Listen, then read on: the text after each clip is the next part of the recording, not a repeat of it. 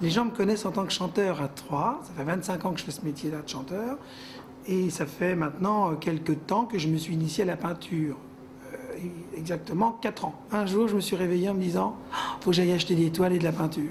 Et depuis, je n'ai plus arrêté. Là, il y a aujourd'hui euh, en exposition 33 toiles, mais j'en ai vraiment plus de 300 à peu près. Je pense qu'il me vient à l'esprit. euh, il n'y a pas du tout de règle. Ça vient comme ça au feeling. euh, je me mets sur une toile, je ne sais pas toujours ce que je vais faire. Et puis, euh, j'arrive à faire ça quand même. Je me demande encore comment, mais ça vient comme ça.